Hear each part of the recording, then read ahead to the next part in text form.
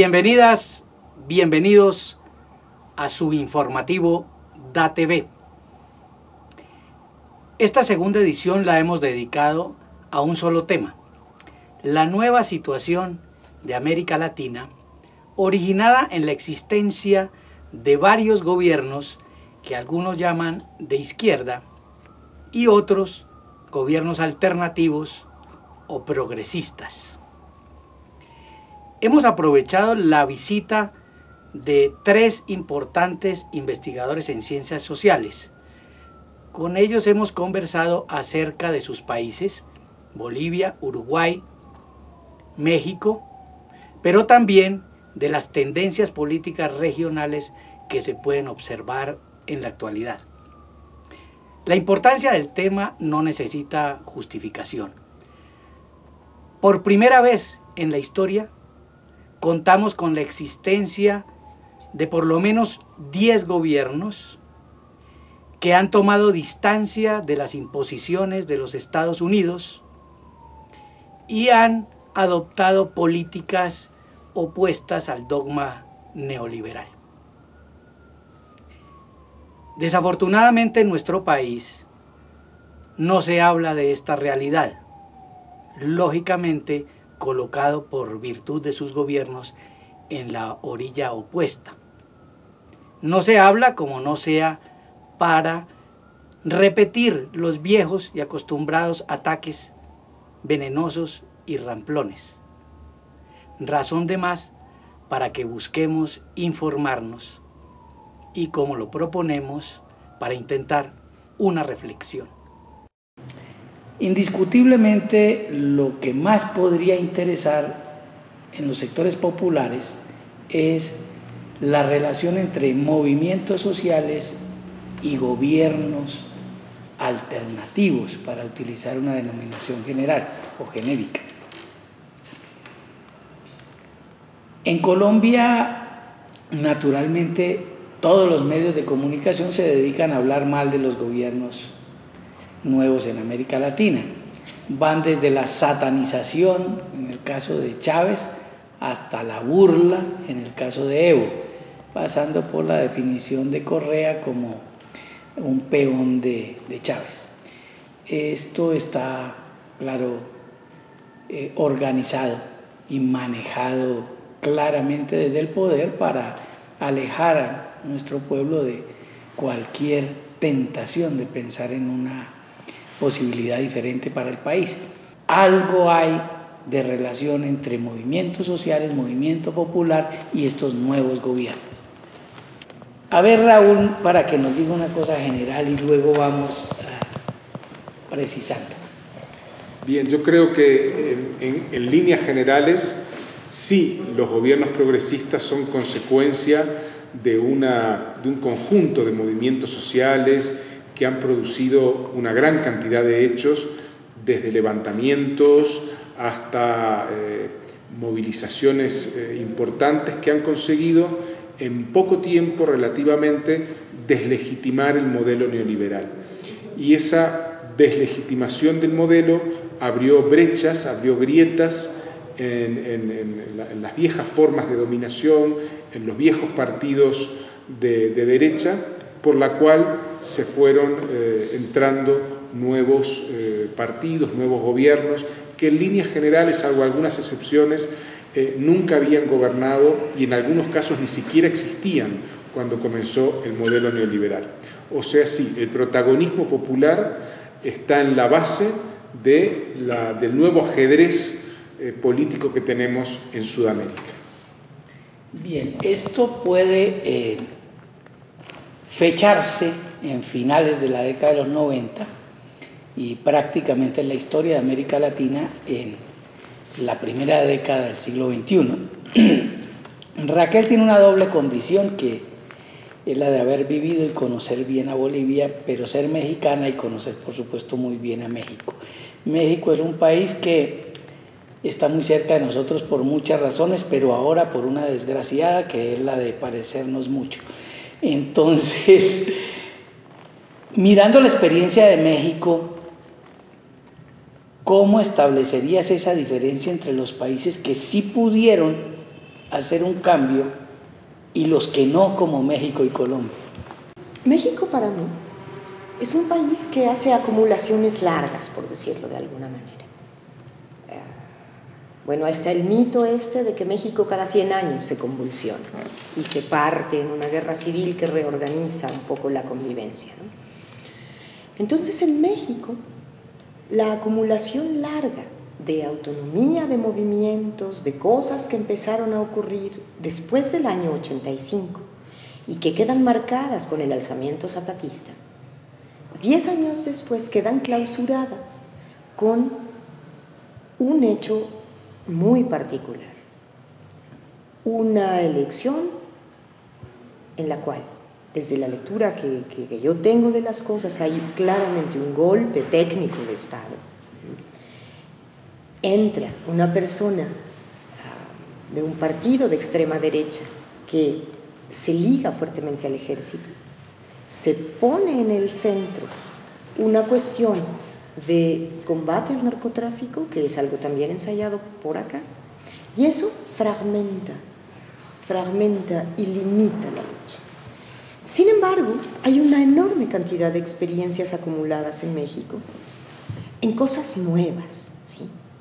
México ha tenido movimientos sociales muy potentes, pero insisto que repercuten de manera mediada Primera cosa, para no mencionar el levantamiento zapatista, que es quizá lo más conocido. El levantamiento del pueblo de Atenco en la Ciudad de México, en el año 2001. Es muy interesante porque el levantamiento de un pueblo pequeño rompe el negocio principal de la élite mexicana, que era la construcción de un nuevo aeropuerto y el puntal a partir del cual se daba cuerpo al Plan Puebla-Panamá. Como no puede comenzar eso, empieza a haber una fractura de fondo en la élite que la seguimos viendo ahora, casi 10 años después. En otra acción de levantamiento muy importante en México, tenemos lo que fue y se ha llamado la Comuna de Oaxaca, o sea, seis meses de que una ciudad intermedia de entre 2 y 3 millones se paraliza el gobierno de una región Mm, una región que tiene 80.000 kilómetros cuadrados, o sea, es, es el sexto estado en tamaño de la República, me parece, Oaxaca, queda prácticamente paralizado y queda prácticamente reorganizada la vida pública en la calle a partir de una colección de barricadas y de núcleos públicos que además toman los medios de comunicación durante varios meses. Entonces, esa experiencia se va sedimentando, se va acumulando, va como yendo por arroyos diversos, ¿sí? Y estamos en la olla, en el otro sentido. Estamos en la olla porque tenemos ese gobierno totalmente reaccionario y un avance patético del paramilitarismo, que estamos aprendiendo a tratar de lidiar con. No tenemos todas las similitudes, porque allá hubo un golpe técnico de Estado, aquí no tuvieron necesidad de golpe técnico, es decir, que aquí hay un grado de consentimiento, mientras que en México, digamos, el signo de la resistencia es más fuerte, por lo menos a nivel cultural. Entre los movimientos sociales de América Latina que han producido estas transformaciones, hay uno que la tradición de izquierda, incluso marxista, salvo Mariátegui, nunca había considerado a profundidad, que son los pueblos indígenas.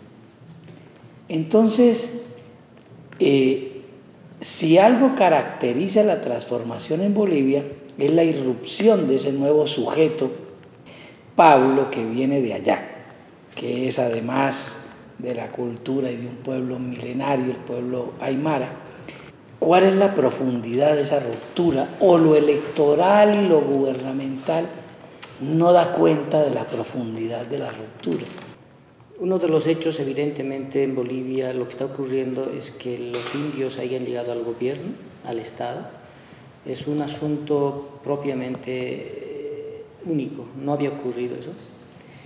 Y ocurrió esto eh, a partir de una acumulación social, de una gran lucha compleja, territorializada, con distintos incluso movimientos dentro de eso que se disputan entre sí y hay, ratos que se articulan y se separan.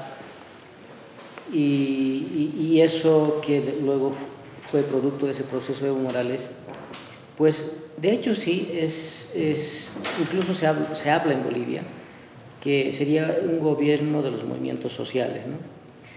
Eh, en tanto que expresaría esa densidad de la lucha social invisible en el pasado histórico para ahora expresar públicamente y, a nivel estatal esa dinámica social.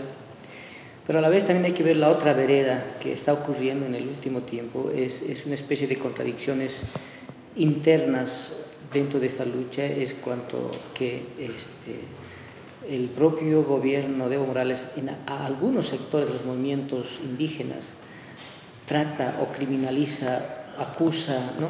vincula con la USAID para, para inesperadamente, digamos, tratar de deslegitimar esas otras, o sea, la persistencia de las luchas sociales que aún persisten en Bolivia. ¿no? La forma estatal de la política indígena tal vez tenga algunos límites en el sentido de que un sector, un grupo se apropia del gobierno del Estado para ahora hablar a nombre de los movimientos sociales, pero sin ser la representación efectiva de esos deseos y esas luchas de los movimientos sociales, que es una de las cosas que está ocurriendo. Pero a la vez la potencialidad social de esa emergencia que se, mantuvo, que se mantiene aún y las respuestas incluso contra el hermano presidente Evo Morales vienen desde el propio mundo aymara, desde el propio mundo indígena, diciéndole ¿no? que cambie de actitud, que cambie de dirección porque hay cosas que no están bien y hay que direccionar. Hasta los años 70 decíamos que había que destruir el Estado y construir otro. ¿Qué valor, qué importancia le podemos dar hoy por hoy a estas transformaciones que se están dando en América Latina. ¿Hasta dónde van? ¿Anuncian otra cosa o se quedarán ahí? Con la mitad de lo que dijiste estoy de acuerdo, creo que hay que destruir el estado actual. Si hay que construir otro o no, tengo dudas. En todo caso, lo que se construya no puede ser igual a lo que hay o ser del mismo estilo. Eh, me parece que en las experiencias actuales, hay en, algunas de ellas, en las más ricas como la de Bolivia y en parte la de, la de Ecuador, una percepción, las dos protagonizadas por indígenas, una, una percepción cada vez más clara de que la forma Estado, eh, que en determinados momentos tiene que ser utilizada o puede ser utilizada a favor de los movimientos y en contra de las, de las élites dominantes, es en sí misma un problema. La forma Estado realmente existente, tal como la conocemos, eso es un problema. Y un problema para el cual aún no tenemos solución. Aún no sabemos qué vamos a poner en ese lugar. Hay pueblos que tienen ya más experiencia sobre otras formas de gobiernos que no sean de ese tipo de Estado-nación colonial. Pero este es un escenario abierto. Y yo creo que uno de los elementos interesantes que existen hoy en estos procesos que mencioné es que no se agota el proceso de cambios y de luchas con el acceso al gobierno, sino que ya se está pensando en un después que. Por ahora se le llama Estado plurinacional, pero más allá de esa formulación que todavía es abstracta, hay un creciente inquietud y diálogo y un empezar a reflexionar eh, en otra dirección. Insisto, aún no sabemos qué camino va a adoptar eso, hacia dónde va a ir, pero creo que en ese sentido sí estamos en un periodo nuevo, totalmente nuevo, de las luchas sociales en toda América Latina. Mirando en su conjunto el continente, ¿Cómo sería ese balance entre movimientos sociales? ¿Qué fue del movimiento sindical, que era el paradigma del movimiento social? ¿Qué cosas nuevas estamos viendo? Las formas organizativas, históricamente bajo el régimen actual, jamás son eternas y se van moviendo y se van transformando de acuerdo, yo creo que a una especie de dinámica que tiene una fuente y una finalidad. Una fuente que es la lucha concreta de resistencia en cada lado contra determinada forma. Así como la lucha contra la explotación habilitó la creación de sindicatos. La misma resistencia que creció al interior de los sindicatos exigió a una finalidad ajena, la acumulación de capital, el desmantelar esos sindicatos. ¿sí? Pero entonces la sociedad de todas maneras no se queda quieta. Gente que vive por sus manos empezó a hacer muchísimas cosas y ha ido dando lugar a diversos movimientos sociales, de pobladores por reivindicaciones sobre necesidades básicas, contra agresiones directas a sus localidades, etc. Dentro de ese mar, o bueno, más bien, aparte de ese mar, que es lo que para mí son los movimientos sociales, hay uno o hay una lucha, una insurgencia en particular, que va recogiendo lo más antiguo del continente, de sus formas originarias de vida, que son los pueblos indígenas. Y aquí hay que tener una cosa muy clara. Cuando estamos hablando de pueblos indígenas, no estamos hablando del pasado, aunque sí estamos hablando de aquello que tiene una especie de raíz muy honda. Cuando se va limitando. El formato fuerte del Estado-Nación en su, en su versión Estado de Bienestar acotado, que es lo que tuvimos en América Latina, este tejido de fondo profundo que estaba aparece y se dota de nombre y dice que es un movimiento originario y dice que son pueblos originarios que se vuelven a presentar con nombre propio en primera persona para reivindicar territorio y posibilidad de autogobierno. Y eso trastoca totalmente el orden de los estados-nación.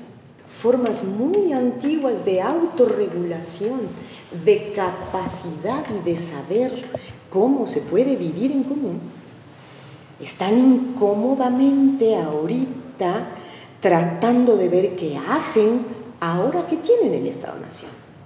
Y hay una pugna claramente allí, hay una pugna porque Muchas veces las lógicas estatales confunden a las personas. En México dirían las emborrachan. ¿Y cómo los emborrachan? Porque empiezan a creer que el poder emana de ellos mismos o emana del aparato sobre el que están cabalgando ahora. Y el poder y la capacidad de crear y la capacidad de hacer siempre ha salido de los que viven por sus manos. Y el capital y el Estado son una forma de hacer eso, como, como decía Raúl. Entonces, aquí estamos viendo algo así como el, pues, la contradicción, el antagonismo a veces de dos maneras de entender lo que es convivir y lo que es producir la riqueza material. Conocemos de la historia de Bolivia el movimiento obrero, el movimiento sindical, el gobierno nacionalista, los años 50, las nacionalizaciones, todo lo que fue la gloria de Bolivia, y esa gloria estaba en alguna forma representada por la COB. Y hoy el protagonista no es la COB. ¿Cómo juegan los diferentes movimientos esta transformación actual? El centralismo obrero este, tenía una visión discriminadora contra las formas de identidad, contra las formas de, lucha, contra los, contra los lenguajes, contra sus memorias históricas, sus líderes históricos, y que todos debían pensar en ese centralismo democrático como uno y todo, mientras la racionalidad indígena es de un modo mucho más complejo, mucho más disperso, como la huipala que nosotros tenemos. Y uno de los ejemplos históricos que está documentado es que Juan Glachino Kendo, el viejo líder sindical de la Central Obrera Boliviana, lo decía a uno de los dirigentes de la CESUD-CB, a Genaro Flores, secretario de, armas en ese tiempo. Compañero, este, venga, este, anda, anda a comprármelo un cigarro ahí al frente, ¿no? Y el, el campesino Genaro Flores en ese momento le decía, si usted me ilustra mi zapato, yo se lo compro su cigarro ahí al frente. Es decir, uno cuando lee esta historia, lo que está descubriendo es, digamos, ¿no? Los revolucionarios de la vuelta de la esquina tenían profundos rasgos discriminatorios contra lo indio, contra lo campesino, contra lo indígena, y veían como su mandado, más que el con quien puedes dialogar para hacer fuerzas sociales, ¿no? que en el fondo los mineros son indígenas, o sea, proletarizados desde el mundo indígena y con un lenguaje de lo proletario, toda esa cosa, pero en las minas en Bolivia lo vemos los tíos, que es una divinidad de las montañas profundas adentro y se challa a ese tío de la mina. Y la coca, los rituales que todo hace, o sea, no es un obrero clásico inglés-alemán, es otro tipo de obrero, que es un obrero indígena, aymara o quechua. Yo creo que es uno de los grandes límites del, movimiento obrero sindical en Bolivia, que incluso el propio sindicalismo campesino tuvo o tiene incluso esta visión con relación a lo que se llaman los originarios, que los tratan como eh, especie de pues resabios de hace 500 años que no cambian y que los sindicatos sería la forma más moderna de, de, de este momento histórico. ¿no? Entonces, creo que son algunos de los elementos que desconoció el movimiento obrero en Bolivia de manera particular y su dirigencia tal vez de manera particular, eh, creyendo que tenía la verdad histórica en la mano. Y no había absoluta manera de discutir esa definición histórica de que era la, la vanguardia, el, el, el, proyecto histórico en las manos y que espacialmente, sin embargo, era minoritario en relación al territorio que ocupaba el mundo indígena en todos los niveles. ¿no? Creo que ese es uno de los elementos críticos que yo podía hacer al movimiento obrero y que si en el último tiempo podía articularse esta, este, el movimiento obrero, habría, tendría que tomar muy en cuenta estos gravísimos errores de visión, de estrategia y de discurso que el mundo indígena tiene, creo que en este momento mucho más claro eso. ¿El movimiento popular urbano qué? Algunos de los grandes hechos políticos y sociales de los últimos 20 años han sido protagonizados por el movimiento popular urbano desde el Caracazo de 1989 hasta la guerra del agua en Cochabamba y las guerras del gas eh, que tuvieron un papel, eh, tuvo un papel fundamental el Alto, hasta el levantamiento argentino del 2001, donde su epicentro fue Buenos Aires. O sea, sí, el movimiento popular urbano eh, juega un papel y sigue jugando un papel muy importante, con la excepción general de Brasil, donde a mi modo de ver los movimientos están bastante atascados, atorados, en un momento en que Brasil se lanza al mundo como potencia global y donde hay una situación interna de un poderoso fortalecimiento del aparato estatal. Eh, pero sí, en general yo creo que las ciudades eh, no, no no van a la saga de las áreas rurales y han sido y seguirán siendo protagonistas de movilizaciones, de luchas y de propuestas de actores importantísimos. ¿Pero hay posibilidades de organización distintas a las sindicales? Por supuesto que las hay. Donde vive Pablo en el Alto hay 600 juntas vecinales que tienen una fuerza enorme y en Buenos Aires hay organizaciones piqueteras que ahora están creando bachilleratos populares, pasaron del tema de la desocupación a focalizarse en el tema de la educación. Incluso en Brasil tiene su movimiento sin techo, que aunque no es tan fuerte como el de los sin tierra, existe.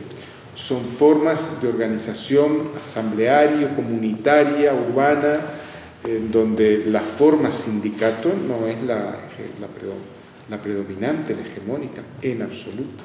Montevideo, Uruguay es un país donde el Estado es muy importante y donde el Estado en la cabeza y en el corazón de la gente sigue siendo importante, pero aún así existen pequeñas experiencias territoriales, barriales, en periferias urbanas, que acompañamos en la medida de nuestras posibilidades y en donde nos reunimos y hacemos eh, talleres y no, no, hay, una creciente presencia que a mí me permite decir que lo más dinámico hoy, incluso en las ciudades, no es lo sindical.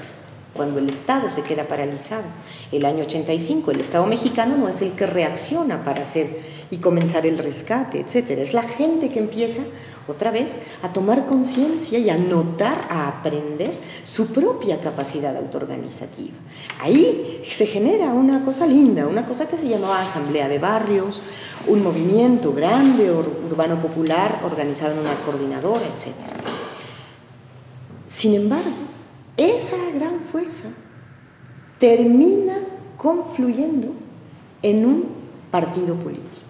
Prácticamente todos los dirigentes del movimiento son los que pasaron a constituir la base en la Ciudad de México del PRD.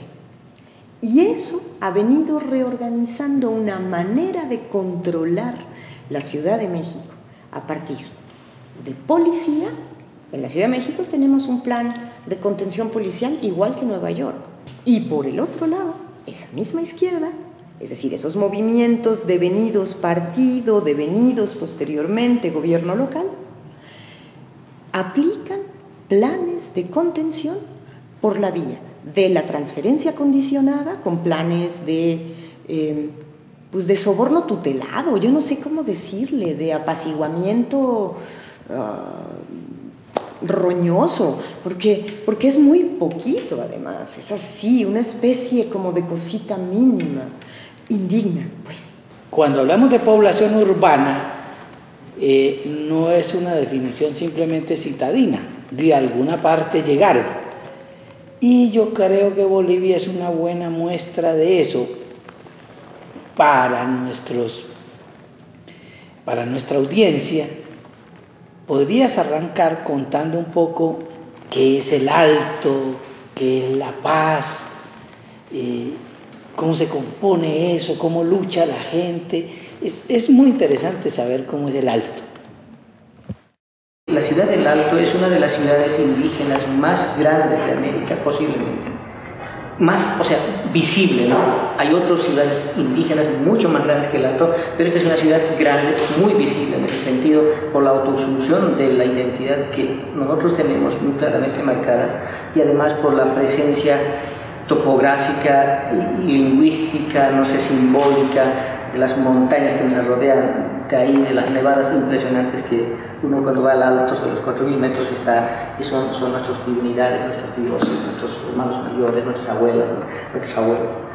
Entonces, e, esa ciudad del alto es pues una ciudad aymara en el fondo, y, y, es una ciudad aymara con todos los niveles que uno puede imaginarse, ¿no? Hay gente aymara que tiene dinero, hay gente aymara que tiene más o menos y gente aymara que tiene, vive en las condiciones de pobreza, ¿no? Y, en ese contexto es que nosotros tumbamos un gobierno que se llamaba Gonzalo Sánchez de Lozano, un modelo neoliberal que estaba expropiando, expropiando recursos como el gas, el petróleo, la decisión política de la gente de decidir asuntos comunes eh, que nos pertenecen a todos, el tema del agua, el tema de la tierra, y que en un momento de eso, pero no solo es alto, sino hay que tomar las provincias también, que son aymaras, más rurales de repente, ¿no? Pero no son rurales, es que hay una dinámica de entrar a la ciudad y salir.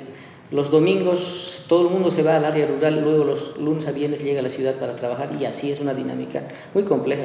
Entonces, en esa dinámica es que octubre de 2003 el Alto se levanta y es un levantamiento que viene cargado de un precedente levantamiento de Huarizata, de Umasuyos, y una anterior, o un poco más antes o después de los yungas, ¿no? de un, yungas cocalero que ahí nosotros tenemos. Y que esto luego, digamos, expande territorialmente a Oruro, Cochabamba, hasta Santa Cruz.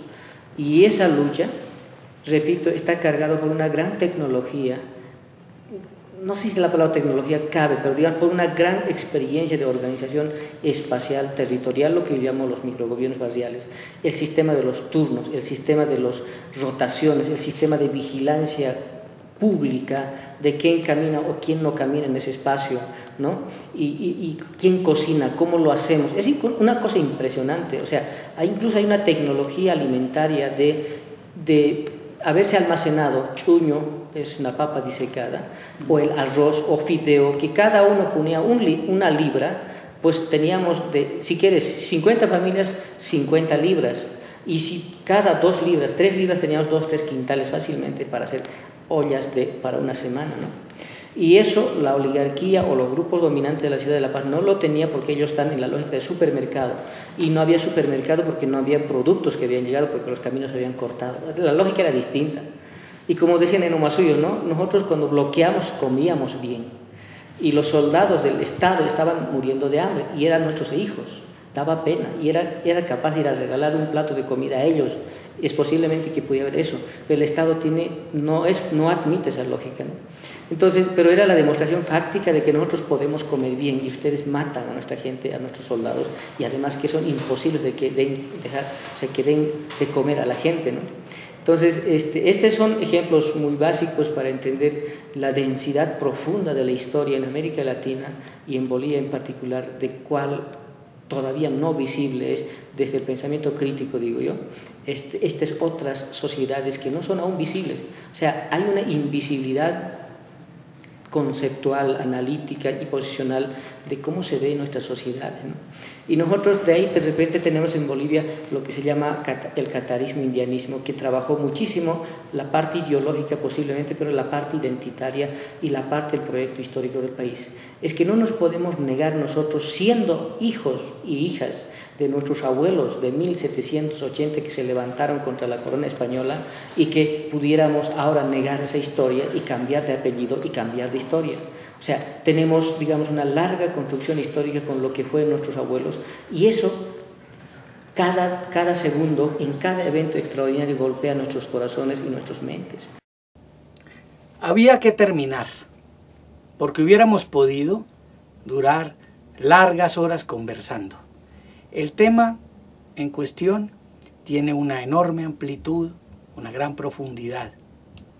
Los gobiernos que hemos agrupado bajo una misma denominación, en realidad son muy diferentes, como lo son sus países, como lo son sus movimientos sociales. Sus alcances, las transformaciones que han hecho, los desafíos, las posibilidades futuras son también muy distintas. Al mismo tiempo, nos damos cuenta desde el lado de quienes tenemos una postura crítica, una postura revolucionaria, que hay diferentes posiciones, puntos de vista encontrados y no nos preocupa. No creemos, como algunos, que el unanimismo falso es un favor que se le hace al proceso de cambio. Por el contrario, pensamos que la discusión es realmente la que enriquece y eso es lo que hemos tratado de abrir con esta conversación de esta edición de su informativo DATV.